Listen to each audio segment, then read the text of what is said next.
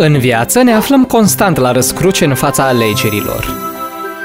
Unele alegeri sunt corecte, altele greșite. Alegerile seamănă mult cu petalele unei păpătii, încântătoare și imposibil de prevăzut. Alegerea mea este să vă fac să plângeți. Ca în orice altă dimineață de duminică, regatul păpădiei a fost atacat de o forță sinistră. Din fericire, de data aceasta a apărut un singur demon. Cu toate acestea, nimeni nu l-a putut învinge. Lasă-mă să te ajut. Asta e inutil. Dacă ar exista cineva care să-i salveze pe toți... Oh, uitați! A apărut un curcubeu risipind teama indusă de demonul caracatiță E amenințător. aici! Gardianul nostru curcubeu! Tu cine ești? O rază de curcubeu a coborât deodată peste demonul caracatiță, transformându-l într-o caracatiță drăguță și grăsuță. Gardianul curcubeu Fibi a apărut de sus, în toată gloria ei, cu aripile ei magnifice de curcubeu. Cetățenii încântați s-au adunat în jurul lui Fib, lăudându-i victoria. Cu toate acestea, cineva nu era mulțumit. Gardianul curcubeu Iris, sora geamănă a lui Fib. Unde ne va duce invidia lui Iris? Fiți pe fază și abonați-vă la OA Fairy Tales pentru a afla. Surorile gemene Iris și Fib erau urmașele gardienilor curcubeu, dotați cu aripi magice. Fib, sora mai mare, a primit cele mai rare și frumoase aripi de curcubeu. Dar Iris, sora mai mică, nu a fost la fel de norocoasă. Ea a primit aripi mici, gri și neatrăgătoare. Aripile de curcubeu ale lui Fib au înzestrat-o cu abilități de neegalat venite de la curcubeu, făcând toți demonii să se teamă de ea și toți cetățenii să o adore. Iris nu putea zbura și nu putea arunca cu raze curcubeu, așa că era adesea comparată cu talentata ei soră. Oamenii erau distanți și reci cu Iris și considerau că nu merită titlul de gardian curcubeu.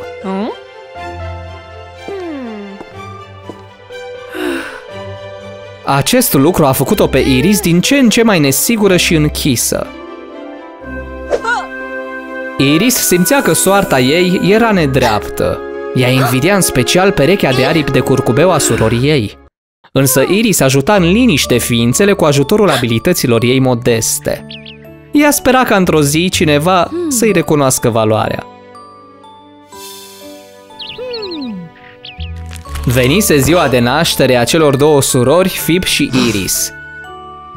Daruri prețioase au fost livrate din toate colțurile regatului păpădiei.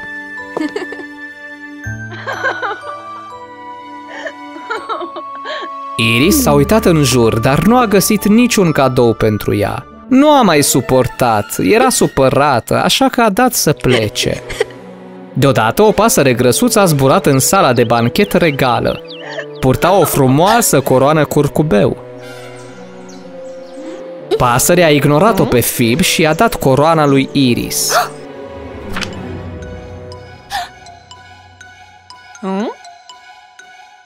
Pentru Iris, cea mai meritoasă. Coroana radia de magia curcubeului, ieșind în evidență printre toate celelalte daruri. Phoebe era nemulțumită de această întorsătură a Pot evenimentelor. fi ca tine acum. Nu, Iris, trebuie să fie o neînțelegere aici. Această coroană îi aparține celei care merită cel mai mult. Tu meriți, Iris? Are dreptate! Numai Phoebe merită această coroană curcubeu. Iris, dă mie coroana. Nu, Phoebe, într-o vrajă rece, a luat coroana din mâna lui Iris. Pe fundalul uralelor, ea și-a așezat coroana curcubeu pe cap. Iris, cu inima zdrobită, a părăsit petrecerea. Din momentul în care Fib a primit coroana, din anumite motive a devenit egoistă și a încetat să-i mai pese de rolul ei de gardian curcubeu. Cetățenii sunt atacați de demoni!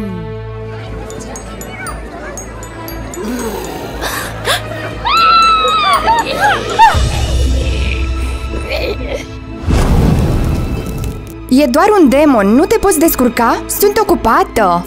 Coroana curcubeu emitea o magie stranie, fermecând-o pe Fibi.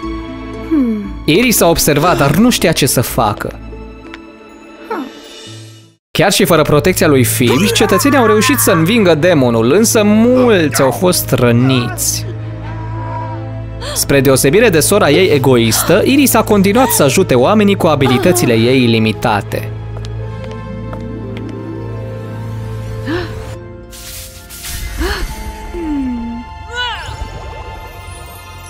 O bătrână a sfătuit-o. Bătrâna i-a dat lui Iris o floare de păpădie. Dacă urma petalele de păpădie, avea să-l găsească pe medicul priceput Dante, singurul care putea vindeca inima tulburată a lui Fibi. Odată ce o voi vindeca pe Phoebe, mă vor recunoaște în sfârșit. Iris a urmat o potecă presărată cu păpădii. Cărarea ducea către un câmp mare de păpădii scăldat în lumina caldă a soarelui și briza blândă. Aici Iris l-a întâlnit pe Dante, un doctor tânăr și talentat, cu o inimă bună. Iris l-a admirat imediat pe Dante de la prima lor interacțiune.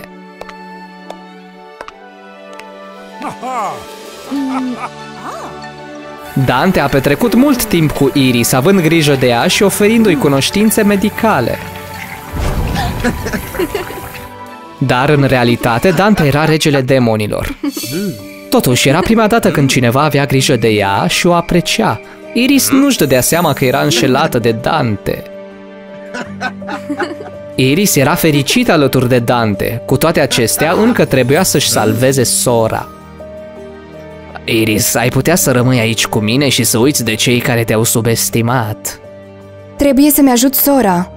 Hmm, în acest caz, va trebui să obții trei pene curcubeu de la aripile ei. Nu pot. Nimeni nu-i poate atinge aripile curcubeu. Ah, atunci nu te pot ajuta.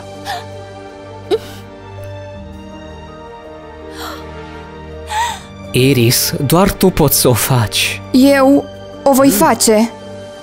Pentru a se apropia de Phoebe, Iris trebuia să ocolească paznicii vigilenți. Era o sarcină provocatoare. Cu toate acestea, Iris avea un atu în mânecă. Deși îi lipseau abilitățile magice ale suroriei, Iris avea o mare putere fizică. Ea a ascuns asta pentru a evita să fie privită ca o ciudată și lipsită de grație. Ea i-a doborât cu ușurință pe gardien, țintindu-le slăbiciunile, lăsându-i temporar inconștienți. Apoi Iris a intrat pe furiș în dormitorul lui Phoebe. A oftat când a văzut-o pe venerabila ei soră. Phoebe dormea, strângând la piept coroana curcubeu. Iris a întins mâna să atingă aripile curcubeu ale lui Phoebe. Chiar înainte să smulgă penele, s-a oprit brusc. Ar trebui să iau coroana curcubeu? Nu, nu mă voi lăsa ispitită de dorințe lumești.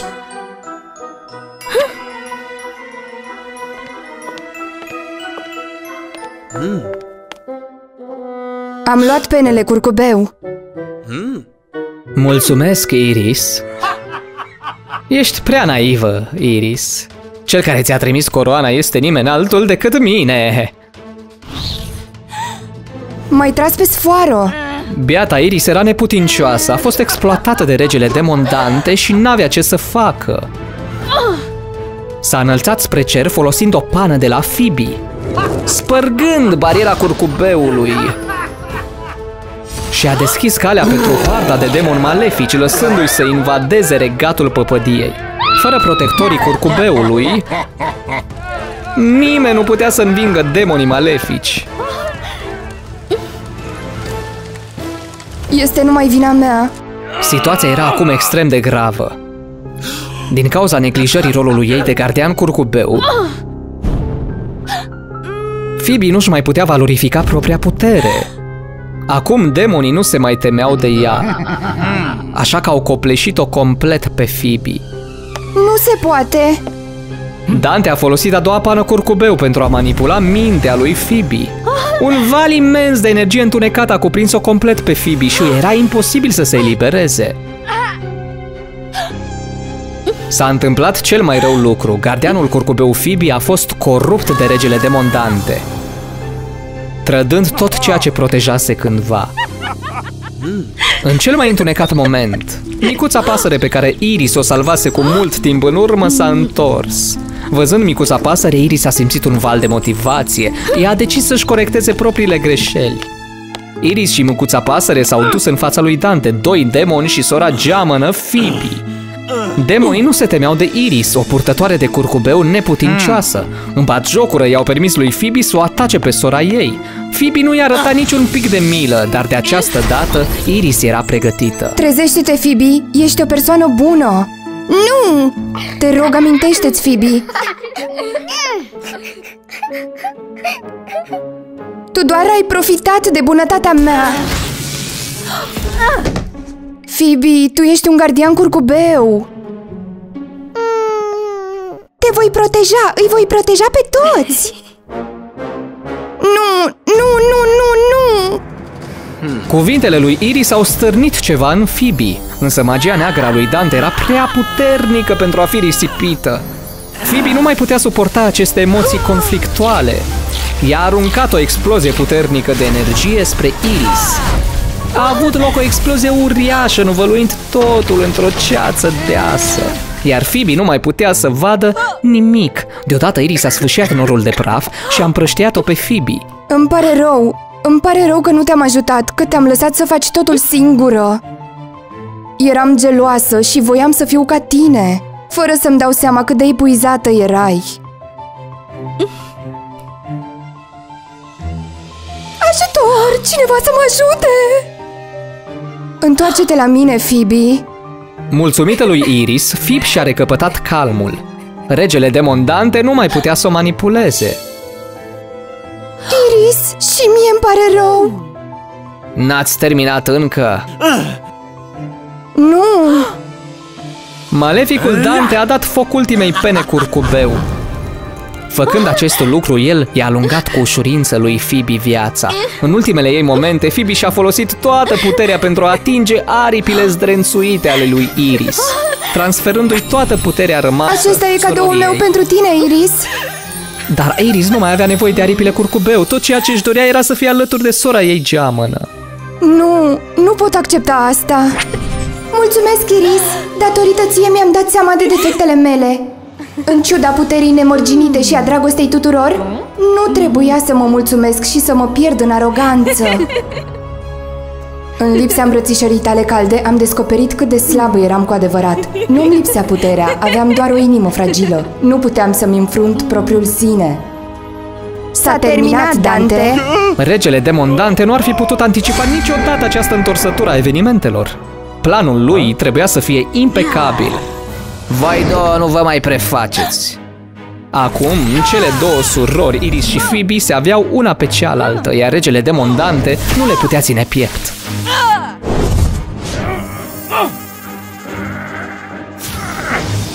Nu! Iris, Phoebe! Vom fi mereu împreună! Prin legătura de surori, gemenele Iris și Phoebe au alungat hoarda de demoni malefici și au restaurat bariera de curcubeu a regatului păpădiei. Cu toate acestea, puterea celor două surori nu a fost suficientă pentru a preveni soarta întunecată care o aștepta pe Phoebe. Restaurarea barierei puizase forța vitală. Cu abilitățile ei actuale, Iris nu și-a putut salva sora. Iris, nu plânge! Voi fi mereu lângă tine! Legenda spune că după fiecare ploaie când te uiți la cer, o vei vedea pe zeița curcubeu Iris așteptând revenirea surorii ei dragi, Phoebe.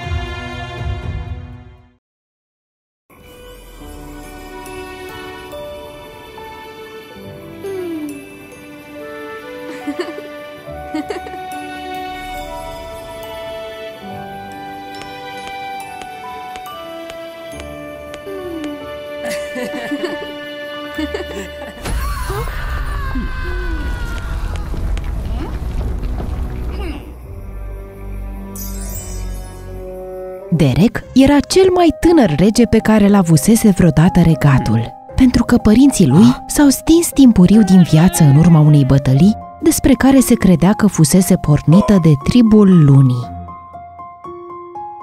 Încă de la o vârstă foarte fragedă, Derek s-a dovedit a fi un băiat nespus de isteț. Când a împlinit 18 ani, Derek era în stare să rezolve toate problemele regatului de unul singur.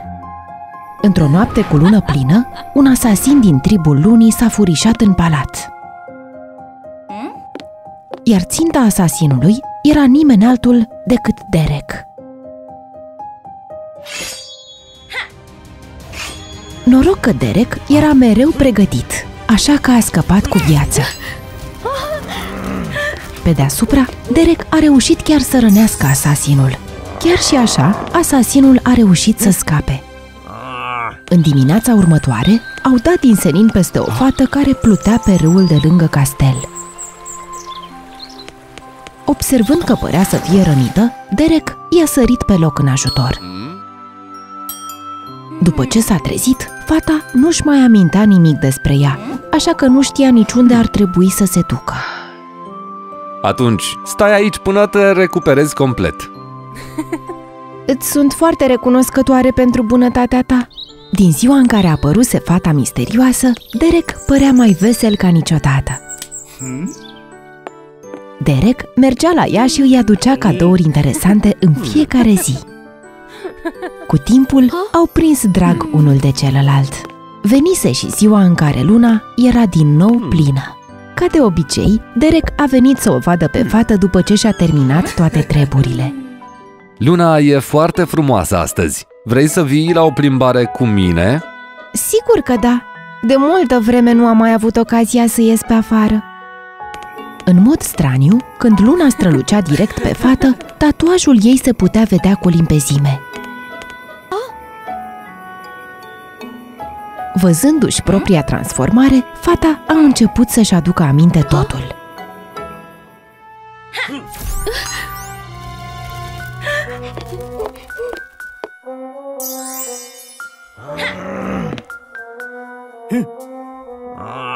Nu pot să-i las pe oameni să mă descopere în forma asta.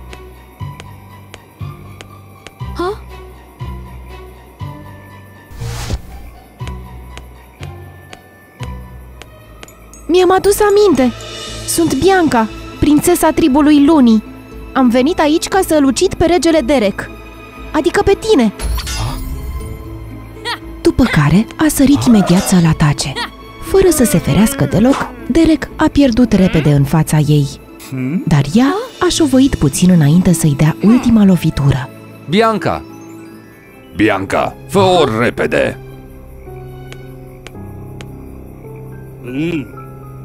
Unchiule Fergus, tu de ce ești aici?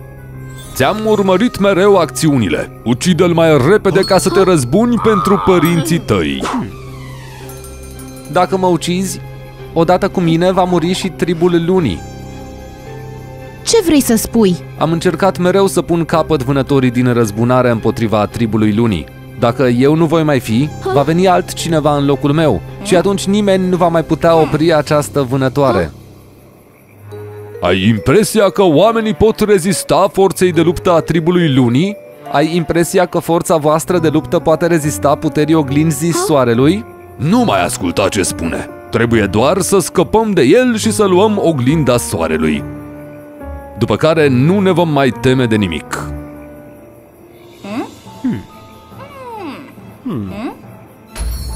Poate că Derek are dreptate. Atât tatăl meu cât și mama mea au murit în bătălia aceea.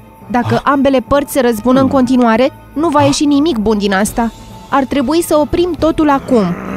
Bianca, ești atât de naivă, la fel ca părinții tăi. De ce trebuie să ne considerăm egali cu acei oameni josnici? Astăzi nu-l voi mai lăsa să scape. Unchiule Fergus, asta e magie interzisă? Așadar, tu ești monstrul din anul acela.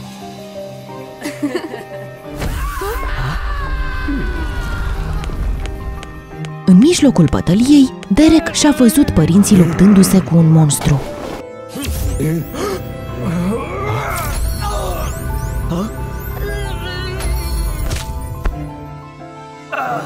dar din nefericire a fost lovit și și-a pierdut cunoștința, așa că nu știa ce se întâmplase mai departe. Am căutat din totdeauna informații despre monstrul acela. Nu credeam că ești tu. La vremea aceea, doar unchiul Fergus a rămas în viață. Așa că a mințit pentru a convinge tribul lunii să ducă un război lipsit de temei. Tot ce am făcut a fost pentru tribul lunii. După care s-a repezit să îl atace pe Derek.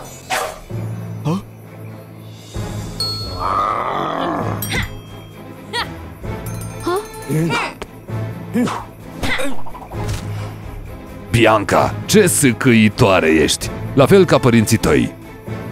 Te voi trimite în iad ca să te reîntâlnești cu ei.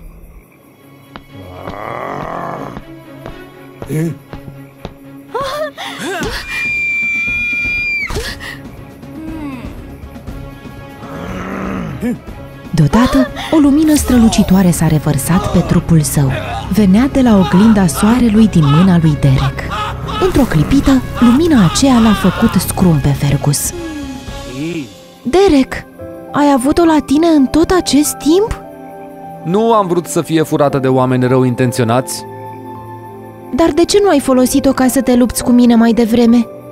pentru că nu am vrut să te rănesc. Îmi pare foarte rău pentru unchiul tău. Am fost nevoit să o fac pentru că avea de gând să o distrugă. Nu, asta a pățit pentru că a fost prea lacom. De fapt, am știut cine ești din prima clipă în care te-am cunoscut. Am vrut tot timpul ca lucrurile să fie clare între noi. Așadar, aveai de gând să mă ajut să îmi recapăt amintirile când m-ai scos la plimbare sub clar de lună. Bianca, ai putea să rămâi cu mine aici?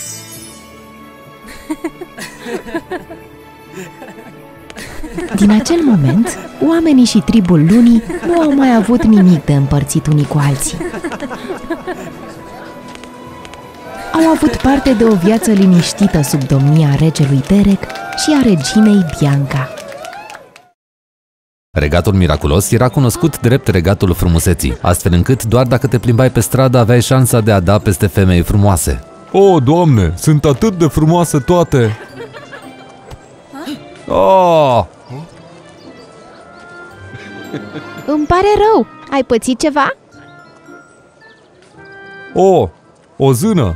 O zână, scuze, doar că ești prea frumoasă. Ce vorbe dulci spui! Dar dacă nu te ridici mai repede, vei rata șansa de a le vedea pe cele mai frumoase cinci prințese ale regatului miraculos. Pentru a întări legătura cu oamenii, odată pe lună, prințesele regale părăseau palatul pentru a le da o mână de ajutor oamenilor nevoiași.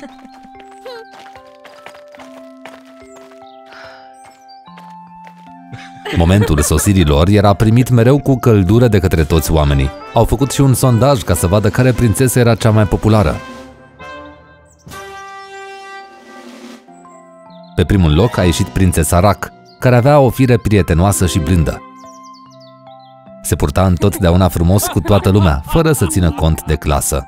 Diferența nu era prea mare în numărul de voturi. Locul 3 a fost adjudecat de prințesa Fecioară, zeița frumuseții. Dacă ar fi fost vorba doar de frumusețe, cu greu ar fi putut să o depășească cineva. Iar cei care iubeau fragilitatea și delicatețea o iubeau cu siguranță și pe prințesa Pești. Însă ea era prea timidă ca să se arate la fel de mult ca surorile ei. Nu puțini erau nici cei care iubeau firea de gheață a prințesei Scorpion, în mod aparte, nu doar bărbații, ci mai ales femeile. Ar trebui să fii mai atentă. Câtă eleganță și frumusețe! La capătul listei se afla cea de-a doua prințesă, Leu. Ce făcea prințesa Leu în cameră? Prințesa Leu este frumoasă, puternică și bună, doar că A explodat! pare să fie mereu ceva, ei bine, straniu la ea.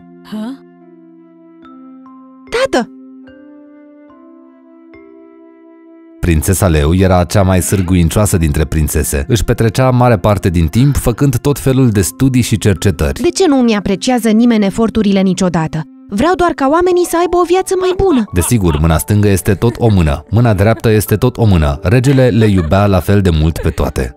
Împărate, vine prințesa Leu! Prințesa Leu? Nu prea am mâncat bine în ultima vreme? Dar în condițiile în care nu era nici prima, nici ultima, nu voia să facă necazuri, nici să vorbească despre nimic. Prințesa Leo era adesea dată uitării. Ei bine, am ceva important să vă spun.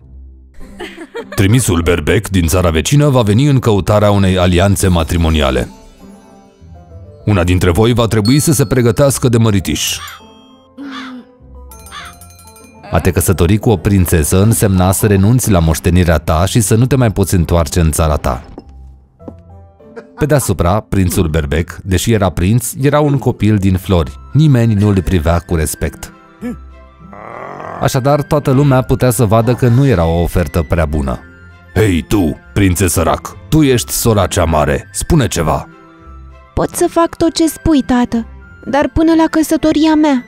Mi-am dorit dintotdeauna adevărata iubire a vieții mele, nu o iubire politică. Nu ai vrut mereu să te căsătorești și să devii mamă? Iată că acum ai șansa asta. Tată, prințesa Leu a vorbit. Las-o pe ea să facă asta. E fată mare și-a dorit tot timpul să călătorească în lume. Locul acela e făcut pentru ea. În plus, Asta este tot ce are în cap o fată care dansează tot timpul în rochii și se gândește doar la dans. O adevărată bătălie s-a pornit între surori. Totuși, prințesa cea puternică, Scorpion, s-a strecurat în mijlocul lor și le-a despărțit. Dă-te jos de pe mine, fetițo! Vă certați tot timpul pe niște chestii stupide. Nu vedeți că vă purtați ca niște copii? Hei, ești mică, dar atât de obraznică. Tot ce știi să faci e să te bați ca un băiat toată ziua. Așa e. Nu există pic de dulceață și blândețe în personalitatea ei. Așadar, în loc de ceartă între două persoane, acum avem parte de bătălia celor trei prințese. De fapt, asta era ceva normal la micul dejun al familiei regale. Doar tu ești mereu blândă și docilă. Păcat că de când te-ai născut ești atât de slabă și bolnăvicioasă. Tată, sunt bine. Tusea bolnăvicioasă a prințesei pești le-a făcut pe prințese să se oprească. Cu toate neînțelegerile și certurile lor, se iubeau nespus de mult. Suficient pentru azi. Mergeți în camerele voastre și odihniți-vă. În noaptea aceea, regele i-a mărturisit prim-ministrului său necazurile lui. Știu că e o decizie grea, dar înțelegi prea bine ce primești te așteaptă dacă încalci voința împărăției. Nu-i așa, Sire? Știu, dar dacă dau la schimb fericirea copiilor pe care îi iubesc cel mai mult în lume... De afară, prințesa Rac a auzit tot ce vorbiseră.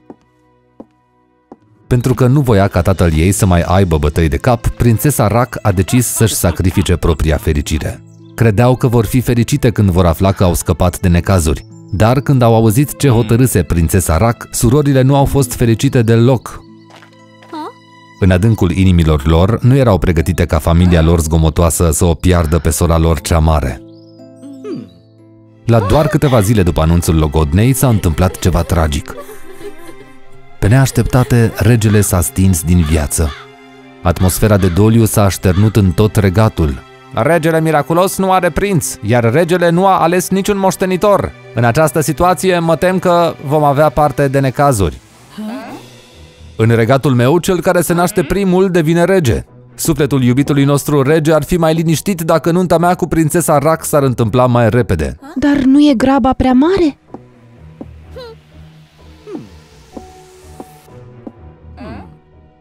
Nu, trebuie să ai încredere în mine.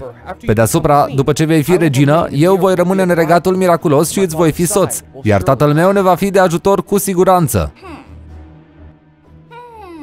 Punând toată această grabă la îndoială, prințesa Leo a pornit o investigație secretă și a descoperit că prințul Berbec nu era atât de drăguț cum părea.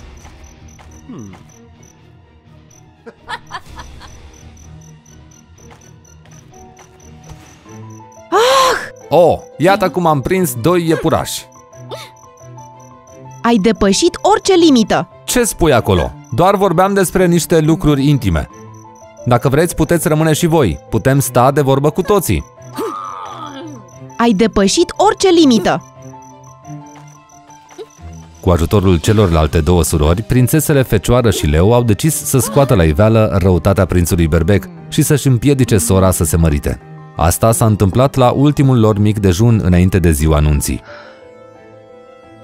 Tată, dacă ai fi fost în continuare aici, Mâine e ziua în care ar trebui să mă căsătoresc. Nu se va întâmpla nicio nuntă. Cele patru prințese i-au povestit prințesei Rac despre minciunile și răutățile prințului Berbec. Dar dacă așa stau lucrurile, un război e pe cale să înceapă. Chiar dacă te măriți cu el, războiul tot se va întâmpla. Nu vrei ca tatăl nostru să se odihnească în pace în ceruri? Când tata era în viață, și-a dorit mereu ca noi toate să fim unite și fericite.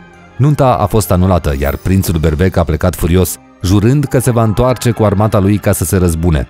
Și nu a fost doar o amenințare. Imperiul a folosit acest pretext ca să-și pregătească armata pentru războiul cel mare, ca să-și salveze țara pentru prima oară în viața lor cele cinci prințese s-au unit și au profitat din plin de puterile cu care erau înzestrate. Prințesa Rac, care era pricepută în toate, avea grijă acum de aprovizionarea cu hrană a armatei. Invențiile prințesei Leu au avut în sfârșit ocazia să impresioneze oamenii când au venit cele mai avansate arme și au sporit puterea soldaților. Datorită gustului ales pentru haine, prințesa Fecioară conducea acum o echipă de croitori care trudeau neobosit zi și noapte pentru a rezolva rapid problema hainelor rezistente la vreme.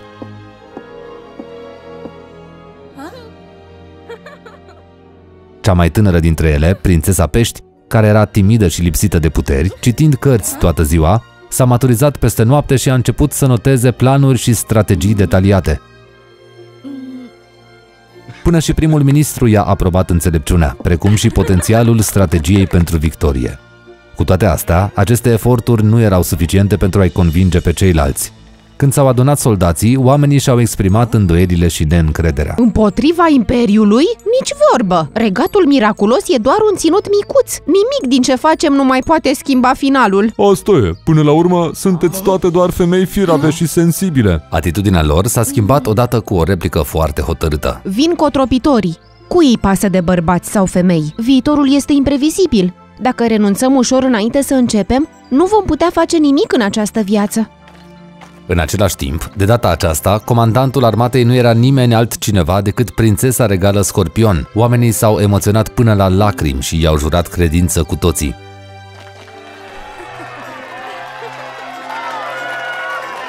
Cu ajutorul și susținerea întregului regat, chiar și până atunci, armata miraculoasă era considerată inferioară atât ca număr cât și ca abilitate strategică de luptă.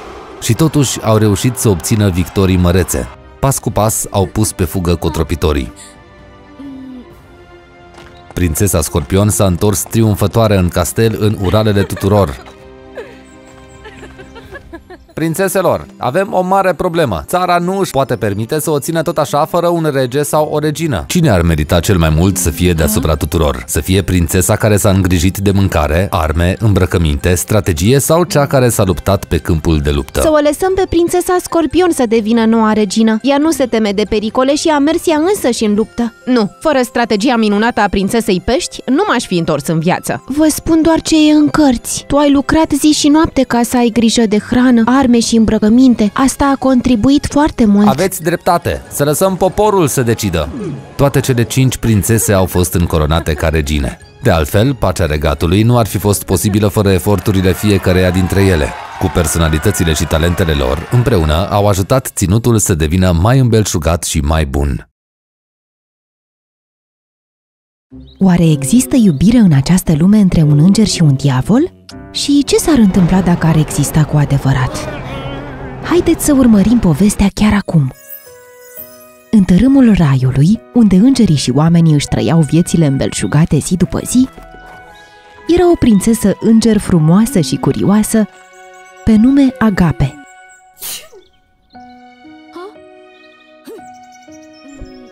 Ea avea misiunea de a veghea pomul vieții, cel care știa viitorul tuturor ființelor. Și dacă se atingea de vreo floare din pomul vieții, îngerul suprem, tatăl ei, i-ar fi luat aripile de înger. Într-o zi, Agape a observat din întâmplare o viziune din viitor a marelui înger Lancelot, logodnicul ei încrezut, care pierduse lupta cu regele diavol Daniel în portalul magic – era tot ce stătea în calea celei mai înfricoșătoare posedări a magiei întunecate. Așa că în fiecare an, tatăl lui Agape alegea un înger războinic sănătos care să se lupte cu el. În acel an, Lancelot își dorea să intre în grațiile tatălui ei. așa că s-a aruncat în luptă de bunăvoie. Cu toate astea, a fost învins, pentru că nu și-a luat deloc în considerare adversarul.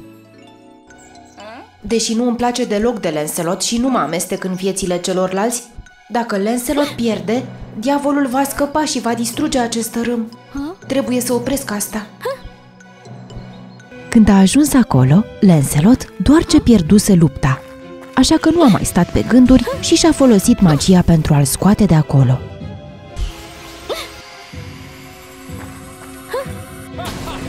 Dar când Agape a fost prinsă, a început să se zbată și l-a dărâmat din greșeală pe Daniel.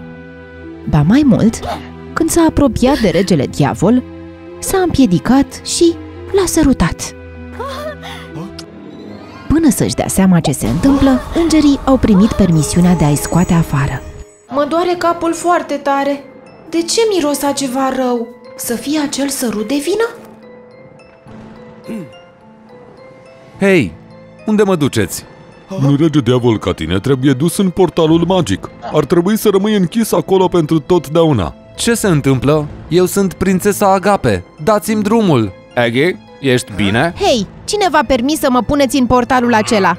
Spre uimirea celor din jur, Agape l-a salvat din senin pe diavol și a fugit.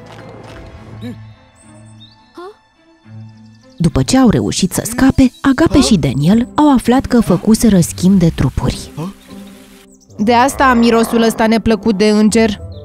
Eu am spus asta. Și dacă e adevărat că am făcut schimb de trupuri, atunci vină cu mine să le explicăm și celorlalți. Ai impresia că oamenii vor crede vorbele unui diavol ca tine? Pe deasupra trebuie să mergem chiar acum la ceilalți. Deoarece doar regele diavol poate folosi sceptrul acela care mă va ajuta să-mi termin treaba. Nu, mi s-a spus că ție îți place să te distrezi necăjind oameni, așa că nu pot să vin cu tine.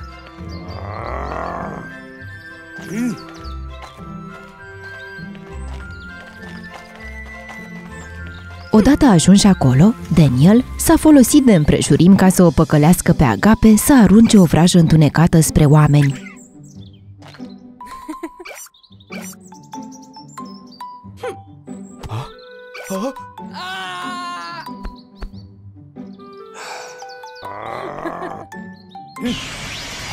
Pentru a-i distrage de la treburile lor. Agape se pregătea să-l certe pe Daniel, dar pe neașteptate a auzit hohotele de râs ale oamenilor, ceva ce rare ori auzea într-o zi obișnuită. În trecut, oricât de multă hrană sau bogăție, foarte rar îi vedeai fericiți. Pentru că erau preocupați cu munca. Păi nu pare înfricoșător, ci doar se distrează. E o piază rea, așa cum obișnuiesc oamenii să spună despre diavoli. Dar el e unul bun? În timp ce Agape era pe gânduri, a observat că Daniel a văzut o bătrână care stătea tristă la marginea drumului. Sunt prea slăbită, dar totuși vreau să mai am ocazia să alerg și să dansez cu nepoții mei. Dacă ești de acord să renunți la forma și viața ta de acum, atunci te voi ajuta să treci la o altă viață, astfel încât să poți să fii alături de copiii tăi. Ce tot spui acolo? Oamenii vor să trăiască mult, să fie nemuritori, pentru a se bucura de toată fericirea din lume. Așa că nu i-a devenit să se gândească la... Sfârșitul nu se găsește mereu în moarte, pentru că va trebui să mergem înainte și să avem o nouă viață, dacă bătrâna este de acord cu această înțelegere. Are dreptate, așa că sunt de acord cu oferta ei. Ei bine, dacă asta e decizia ta, nu te pot opri. Dar dacă te prind că îți încalci cuvântul sau păcălești oamenii, îți voi rupe sceptrul. Acum, prințesa mea, concentrează-te și recită cu mine ca să o ajutăm pe bătrână să-și îndeplinească dorința. Apoi, Agape a făcut așa cum i-a spus Daniel și pe neașteptate, bătrâna s-a transformat într-un licurici frumos. Le-a mulțumit și a început să danseze cu nepoții și copiii ei. Hei, prințesă! Mi-am ținut promisiunea, nu-i așa? Dar de ce tu, un diavol, ajuți oamenii în acest fel? Voi îngerii aveți mereu impresia că înțelegeți oamenii, dar ceea ce oamenii își doresc nu este întotdeauna nemurirea, iar cei care muncesc zi și noapte obosesc și ei, așa că au nevoie și de timp de odihnă, de distracție, iar nașterea, îmbătrânirea, boala, moartea sunt inevitabile. Prin urmare, un rege diavol ca mine se naște din cele mai tăcute dorințe ale oamenilor. Cu toate astea, pentru că îngerul credea că eu nu fac decât să-i necăjesc pe oameni și să le iau viețile, M-a închis vreme îndelungată în portalul magic. Ascultând vorbele lui Daniel, Agape a început să înțeleagă multe lucruri și, în special, pe măsură ce petrecea mai mult timp cu Daniel, prindea tot mai mult drag de el. Când iubirea lor a devenit mai puternică, s-au sărutat și, fără să vrea, au făcut din nou schimb de trupuri. 啊？Se pare că primul nostru sărut de la portalul magic a provocat schimbarea de trupuri. Asta înseamnă că acum ne putem întâlni în propriile noastre forme cu tatăl meu și să-i spunem despre iubirea noastră. Nu ți este teamă că Îngerul Suprem ne va împiedica iubirea? Am temerile mele, dar tata mă iubește foarte mult și căsătoria este o chestiune importantă, așa că am încredere că va înțelege cine ești cu adevărat. Însă când s-au întors, tatălui Agape îi aștepta deja și s-a înfuriat când le-a auzit povestea. Eggy, idila de iubire dintre o prințesă înger și un diavol rău este imposibilă. Ar trebui să iubești mai degrabă un înger la fel de bun ca Lancelot. Lancelot nu e persoana mea preferată, e doar o căsătorie aranjată. În plus, de ce îmi spui Aggie? Singurul care îmi spune așa este Lancelot. Asta înseamnă că... Bravo ție, Eggy! Lancelot! Unde este tatăl meu? E chiar aici! Dar dacă te apropii, îi voi distruge floarea vieții. Din câte se pare, Lancelot aflase de ceva timp de idila de iubire dintre Agape și Daniel. Iar Lancelot știa că tatălui Agape o iubește atât de mult încât nu ar fi putut să rămână supărat pe ea multă vreme, ci ar fi iertat-o rapid și ar fi permis lui Daniel să fie logodnicul lui Agape și să conducă tărâmul raiului. Drept urmare, Lancelot a încercat să găsească floarea vieții lui Daniel ca să o distrugă, dar din nefericire a găsit doar floarea tatălui lui Agape. Lancelot, nu o cauți pe fica mea? Ce faci aici? Eu... Am avut dreptate când am simțit că înfrângerea pe care ai suferit-o în fața lui Daniel a arătat că trebuie să dobândești mai multe cunoștințe și abilități. Am făcut tot ce am putut. Dar îți pierzi cumpătul prea repede. Ești prea încrezut. Pe deasupra au trecut o grămadă de zile și tot nu ai găsit-o pe Agape. Așadar, cred că nunta voastră și încoronarea ta trebuie amânate. Lancelot s-a înfuriat atât de tare auzindu-i vorbele, încât a încercat să-i distrugă floarea vieții și l-a pus la pământ. Pentru că Lancelot știa că odată ce tatăl lui Agape avea o asemenea soartă, el va deveni îngerul suprem în locul lui și va scăpa nepedepsit. Însă Agape și Daniel s-au întors chiar în clipa aceea, așa că Lancelot a trebuit să-și schimbe planul pentru a scăpa mai întâi de cei doi. Dar în acel moment, nici Daniel și nici Agape nu puteau să se lupte cu Lancelot, de vreme ce floarea vieții tatălui lui Agape ardea în mâinile lui. Dacă te vei căsători cu mine, iar Daniel va fi închis în portalul magic, îi voi cruța viața tatălui tău. Amândoi sunt importanți pentru mine, nu poți! Agape va accepta această condiție a ta. Daniel! Te afli într-o situație delicată între tatăl tău și cel pe care îl iubești, dar viața tatălui tău e cea mai importantă acum. Daniel, dar nu poți să te lași să te sacrifici așa pentru mine. Agape, Timpul petrecut cu tine m-a făcut foarte fericit. Mă voi întoarce cu siguranță cât de curând. După ce a spus asta, Daniel l-a urmat pe Lancelot până la portalul magic, dar Agape nu avea liniște deloc. Așa că a pornit pe urmele lor, fără să știe că făpturile mistice se năpusteau asupra pomului vieții. Când Daniel se pregătea să intre în portal, Agape a fugit îndurerată spre el să-l oprească, dar a fost oprită de Lancelot. Nu mai suferi după el și bucură-te pentru victoria mea! Ha, ha, ha! Ia-ți mâinile de pe agape, Lancelot. Ai idee ce e asta?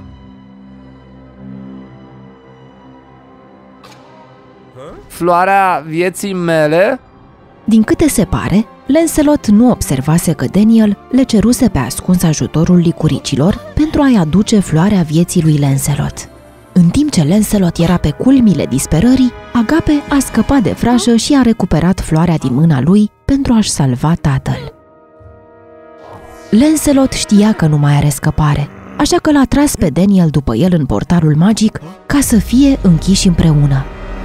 Portalul magic se deschidea doar o dată pe an, iar după sigilarea diavolului nu mai putea fi deschis. Așa că Agape era nespus de tristă. Agape, de ce suferi după un diavol atât de rău? Daniel nu este atât de rău pe cât credeam. El m-a învățat să nu judec oamenii după originile lor. Mulțumită lui Daniel, am căpătat o mai bună înțelegere a vieții. Naștere, îmbătrânire, boală, moarte și uneori sfârșitul este începutul multor lucruri noi. Și Daniel a fost cel care mi-a salvat tatăl astăzi. Așa că îi datorez atât de multe. Am observat. Diavolul acela ne-a învățat atât de multe despre viață, încât aș vrea ca peste un an să mă alătur vouă și să schimbăm preconcepțiile despre îngeri și diavoli în rai, pentru a-l primi pe Daniel înapoi. Ai vrea? După un an de la închiderea portalului, Agape l-a eliberat pe Daniel cu iubirea ei și au trăit în armonie în tărâmul raiului pentru totdeauna. Am tot auzit că îngerii sunt buni și generoși, iar diavolii sunt foarte răi.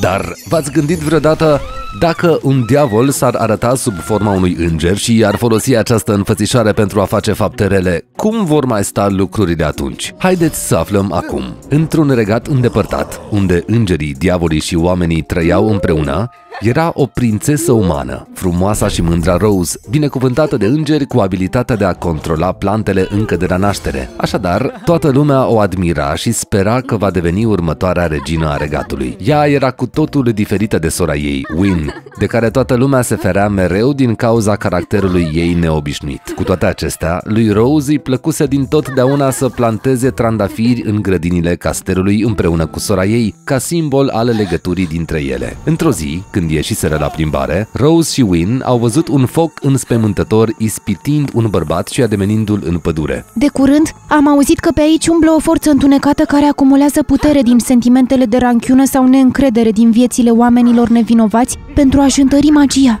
Mă tem că e vorba de el, așa că hai să-l prindem din urmă. După ce au ajuns, surorile au văzut că flacăra se transformase într-un diavol care ajutase un fermier să se reunească cu sufletul soției sale. De ce m-ai ajutat să-mi revăd soția? Nu asta îți doreai? Pe deasupra, sunt un diavol, așa că îmi place să fac tot felul de chestii interzise. Prin urmare, nu ar trebui să salvez oamenii. Dar am vrut să încerc să încalc regulile. Odată, se pare că e cu adevărat interesant și ne ajută să ne dăm seama că un diavol poate să le aducă oamenilor zâmbete atât de fericite. Sărmanul fermier era foarte recunoscător pentru fapta diavolului, lăsând o mută de uimire și pe Win. Doar Rose era de neclintit și credea cu încăpățânare că, în ciuda faptelor bune ale diavolului, el este sortit răului și trebuie distrus. Așa că a făcut câteva vrăji pentru a-l ataca prin surprindere pe diavol. De ce l-ai lovit? E un diavol, dar tot l-a ajutat pe fermier să se întâlnească cu sufletul soției lui. Așa că poate nu e ca ceilalți diavoli și nu e forța întunecată de care am auzit. Da, cred că e o persoană bună.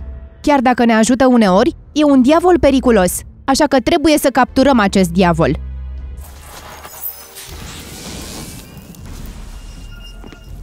Când s-au întors acasă, s-au întâlnit cu mesagerul îngerului Adam, care vizita regatul și a auzit urările frumoase despre numirea următoarei regine Rose.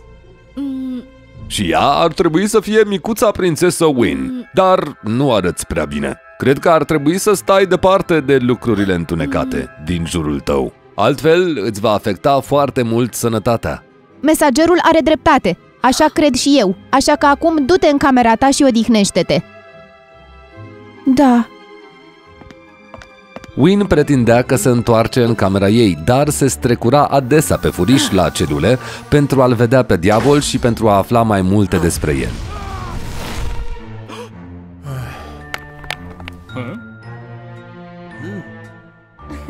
Rose nu avea de unde să știe asta, pentru că era ocupată cu pregătirile pentru ceremonia de încoronare alături de Adam. Din acel moment, relația dintre Rose și Adam a început să fie din ce în ce mai bună. Într-o zi, în timp ce Rose se antrena făcând magie, Adam a venit să o caute și a invitat-o la o plimbare relaxantă.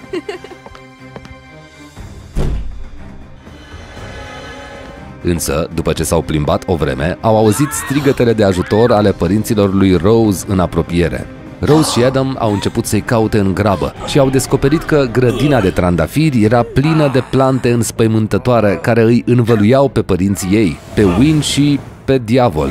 Diavolul încerca și el să-și folosească magia pentru a arde lianele, dar reușea să țină sub control doar o parte dintre plante. Rose a încercat să stingă focul, dar a întețit flăcările și mai mult, spre marea ei groază. În cele din urmă, cu ajutorul lui Adam, totul a revenit la normal. Focul a fost stins și plantele s-au oprit. De ce sunteți aici cu diavolul? Și ce s-a întâmplat cu grădina de flori și cu oamenii?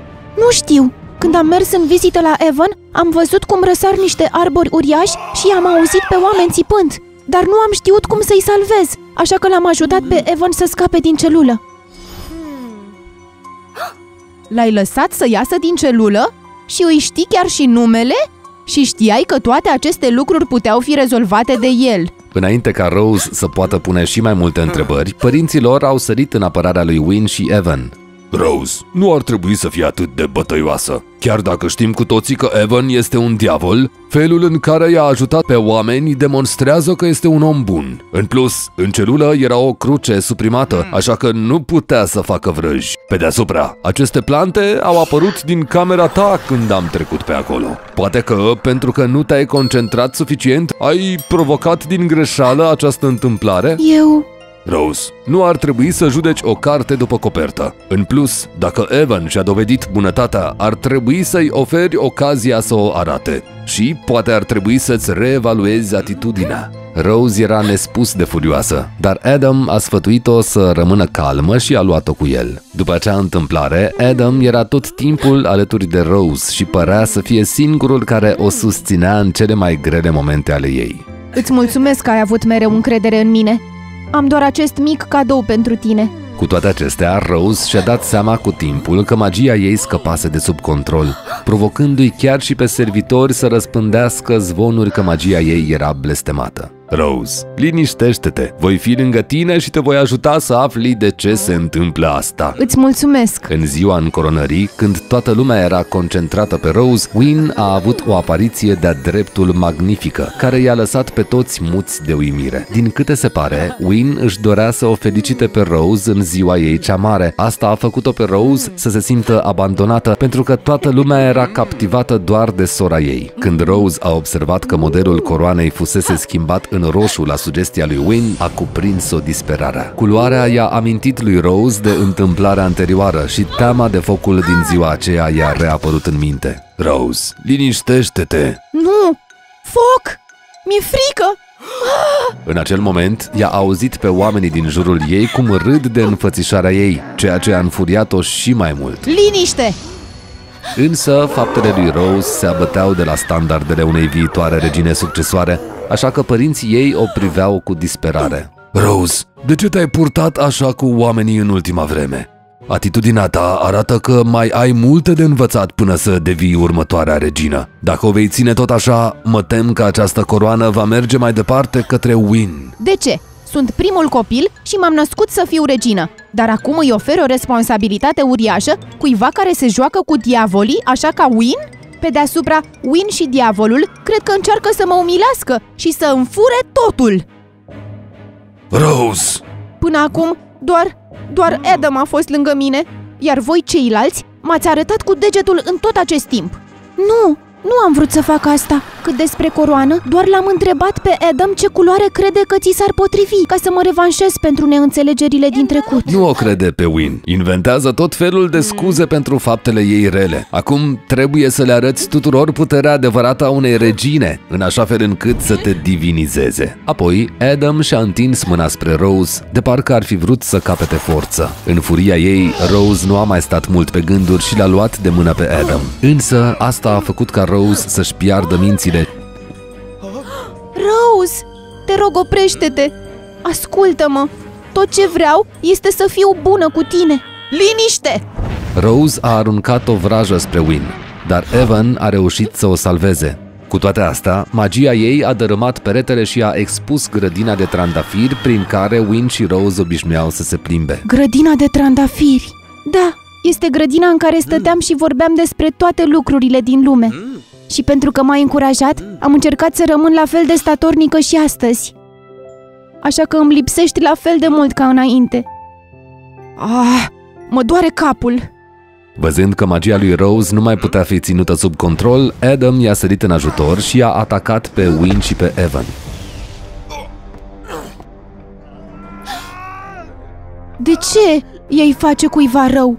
Pentru că eu sunt forța întunecată care adună resentimentul, lipsa de credință în viață, cel pe care îl cauți. Din câte s-a dovedit, deși Adam era mesagerul îngerului, era doar un mesager și trecuseră decenii de când cineva îi mai ceruse ajutorul. Așa că, odată cu vremea, a început să aibă tot felul de gânduri necurate. După ce a găsit o carte veche de magie, a descoperit magia întunecată care îl putea ajuta să câștige respectul tuturor și chiar să domine acest regat. Trebuia să adune mânia, resentimentele oamenilor și cu cât mai repede reușea să obțină această sursă de magie, cu atât mai bine. Iar Rose este scopul suprem care îmi conferă destul autoritate aici. Nu prea cred. Cum poți să compari resentimentul uman cu cel al răului? Te va face mai puternic dacă îi absorbi lui puterea? Corect! De ce îi dai indicii? Rose, trezește-te, te rog! Nu-l lăsa pe Adam să te controleze! Ha, ha, ha, ha. E prea târziu, micuță prințesă. După care Adam a început să-i absoarbă vesel emoțiile lui Evan. Însă, puterea lui Rose de a controla plantele și flacăra lui Evan erau prin natura lor opuse una față de cealaltă. Prin urmare, când Adam le-a absorbit înăuntrul lui, cele două puteri s-au ciocnit și au explodat, făcându-l pe Adam una cu pământul.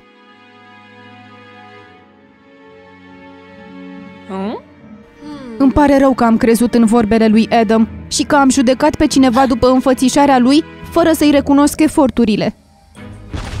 Și încă ceva. Când am auzit trandafirii din grădină și ți-am auzit gândurile, m-am trezit și am realizat că, indiferent cât de mult m-am schimbat, veți fi întotdeauna acolo să mă susțineți. Așadar, cred că părinții noștri au dreptate. Mai am multe de învățat și multe de răscumpărat. Prin urmare, nu sunt pregătită să fiu regină încă și sper că tu vei primi coroana. Ești o persoană mai vrednică decât mine. Nu, Rose. Cred că fiecare are slăbiciunile lui, dar cel mai important e să te ridici după ce cazi. Hai să încercăm să fim mai bune împreună. Apoi, Rose și-a plecat capul și le-a cerut iertare părinților ei cu promisiunea de a încerca să se perfecționeze pe viitor și să permită lucrurilor să revină la normal. În cele din urmă, după ani de încercări, Rose și Win au ajuns să conducă regatul către un echilibru mai mare, democrație și prosperitate. Timp de mii de ani, să devină o zână era visul fiecarei ființe vii din această lume. Nici cele două surori, șarpele alb și șarpele verde, nu erau mai prejos. Pentru că își doreau să evolueze, cele două surori făceau mereu fapte bune, evitau răutățile și nu făceau rău nimănui. De-a lungul anilor, reușiseră să atingă cel de-al nouălea nivel de evoluție. Un singur pas le mai lipsea să devină cu succes zâne. În acele vremuri, relația dintre oameni și demoni era foarte încordată. Credeau că toți strigoii din lume erau răi. Într-o zi, când cobora de pe munte, munte, șarpele alb a căzut în capcana unor vânători de demoni profesioniști. Spre norocul ei, a fost eliberată de un vânător de demoni. Drept urmare, șarpele alb s-a putut întoarce pe munte și a povestit surorii sale. E prea periculos ce spui. Să nu mai cobor de pe munte. Mă voi ocupa eu de tot. Nu!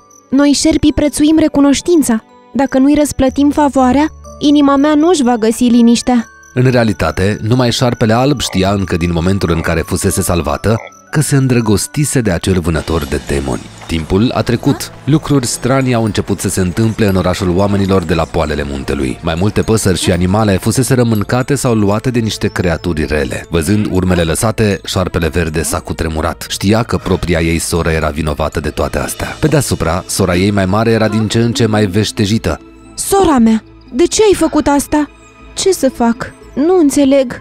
El a fost. Bărbatul acela te-a pus să faci asta, nu-i așa? La ce inimă bună ai? Nu poți să te schimbi așa peste noapte. Am aflat totul. Surioară, suntem la un pas de a deveni zâne. Vrei să renunți la toată truda de până acum? Dacă o ții tot așa, te vei transforma într-un demon și vei fi pedepsită de ceruri. Știu, dar nu este așa cum crezi. De fapt, nu e vina lui Devlin.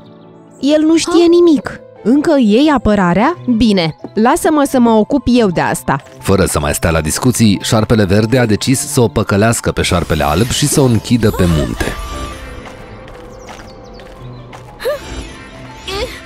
Și s-a dus să-l întâlnească în persoană pe vânătorul de demoni Devlin. Vânătorul de demoni pe care îl îndrăgea șarpele alb nu era o persoană obișnuită, era nespus de puternic, iar șarpele verde cu siguranță nu putea să-i fie un adversar pe măsură. Era hotărâtă să-l folosească pe Devlin pentru a-l convinge să o iubească pe ea, astfel încât să-și arate adevărata față. Cu aceste gânduri, șarpele verde s-a prefăcut că e lipsită de puteri și s-a lăsat urmărită de monștri până în fața casei lui Devlin. După cum era de așteptat, Devlin a apărut imediat și a salvat fără pic de ezitare fata frumoasă și fragilă.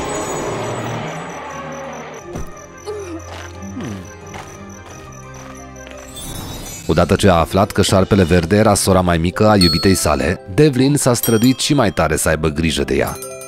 Dar, oricât de multe farmece încerca șarpele verde, Devlin era de neclintit. De ce? Poate pentru că nu sunt la fel de frumoasă ca ea? Nu e vorba de frumusețe. Oricât de frumoasă ai fi, șarpele alb este singura pe care o iubesc. Chiar dacă e un demon? Demonii pot fi și buni. Fiecare ființă vie are dreptul să existe. Câtă vreme nu face rău nimănui, ce e greșit în asta? Oare l-am judecat greșit?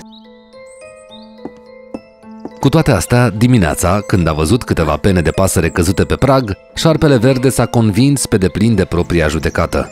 Observând semnele că sora ei a spart barierele și era pe cale să ajungă la casa lui Devlin, șarpele verde a creat din adins o situație în așa fel încât șarpele alb să creadă greșit că Devlin se îndrăgostise de ea. Voi, ce faceți aici? Nu, șarpe alb, ascultă-mă! Este exact așa cum vezi. Îmi pare rău, șarpe alb. Eu și Devlin suntem împreună. Șarpe verde, despre ce lucruri ciudate vorbești? Evident că nu! Vezi? Așa iubesc oamenii. Tu ești bună, eu sunt bună, sau pur și simplu orice demon este bun. Atât timp cât el poate profita de asta. Da, am greșit. Am greșit că am avut încredere în cele două persoane pe care le iubeam cel mai mult pe lumea asta. De ce? Te rog, ascultă-mă! Nu, lăsați-mă în pace. De ce mereu eu? De ce trebuie tot timpul să fiu eu sora model? Să rezolv eu toate problemele. Tu ești vinovata. Tu ești cea care a ucis animalele. Ce spui? Eu sunt? Nu! Nu!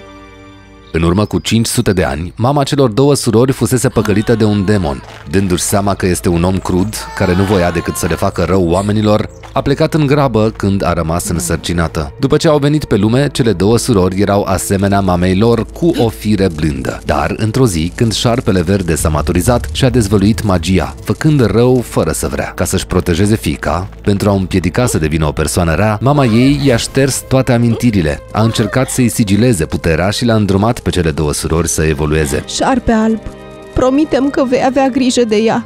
Nu o lăsa să rănească pe nimeni. Numai așa voi putea pleca liniștită. Pentru că își folosise prea mult din puterea magică, mama lor era frântă. Odată cu trecerea timpului, corpul ei s-a schimbat din nou. Noapte de noapte, șarpele verde își pierdea mințile și cobora de pe munte ca să vâneze animale. Șarpele alb încerca să-și oprească sora, motivul pentru care era plină de răni. De teamă să nu faci ceva nebunesc dacă vei afla, am încercat să ascund totul. Până azi, astăzi, de ce trebuie să îndur asemenea lucruri? Șarpele verde și-a pierdut mințile și a început să distrugă frenetic totul în jur. Șarpele alb a făcut tot ce i-a stat în putință. A încercat să o oprească, să nu o lase să facă vreun rău. Dar, bineînțeles, nu era o adversară pe măsura șarpelui verde. Văzând că iubita lui era rănită, vânătorul de demoni a încercat să oprească șarpele verde. Devlin, folosește-ți, te rog, magia ca să oprești șarpele verde să ajungă la casele oamenilor. Te rog! Nu, e periculos! Probabil te vei duce și tu odată cu ea. Nu-ți face griji, voi găsi o cale de a mă proteja, îți promit. După cum era de așteptat, magia lui Devlin le-a atras pe ambele surori în interior.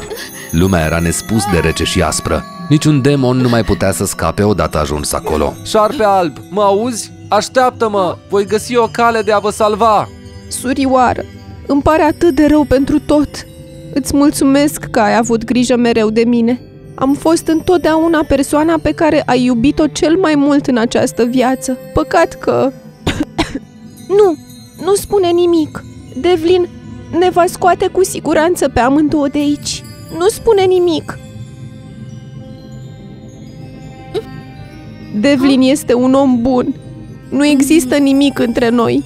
Nu am făcut nimic altceva decât să încerc să te păcălesc. Voi doi trebuie să fiți fericiți în continuare. Spunând asta, șarpele verde nu a mai așteptat ca șarpele alb să răspundă. Nu! Fii o zână bună! Trăiește pentru mine! De acum înainte, nu trebuie să-ți mai faci griji pentru sora ta și problemele ei. Cu puterea primită de la sufletul șarpelui verde, șarpele alb a ajuns până la cea de-a zecea treaptă și a devenit o zână. Nemai fiind un demon, șarpele alb a reușit să scape de magie.